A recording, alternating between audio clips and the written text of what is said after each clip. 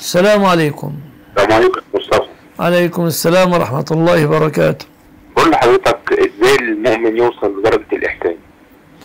الإحسان كيف تصل إلى درجة الإحسان؟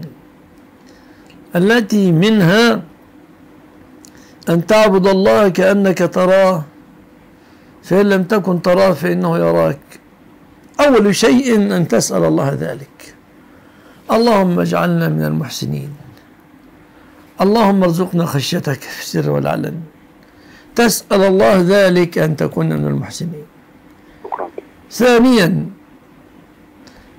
الإحسان من معانيه فعل النفل بعد الفرض.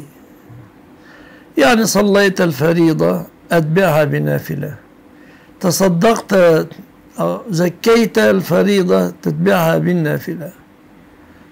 قدر جهدك واستطاعتك.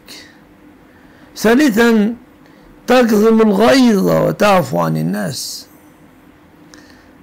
طبعا أنت تعرف أن الصبر على جهالات الناس وعلى حماقات الناس من أشق أنواع الصبر.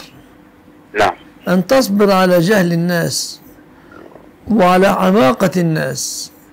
فكن كاظما للغيظ عافيا عن الناس. نعم. أيضا في هذا الصدد كن رحيما إن الله كتب الإحسان على كل شيء. فإذا قتلتم فأحسنوا القتلة. وإذا ذبحتم فأحسنوا الذبيحة. وليحد أحدكم شفرته وليرح ذبيحته. كن رحيما بالعباد حتى بالبهائم. بارك الله فيك يا رب. نعم نعم شكرا. الله يكرمك.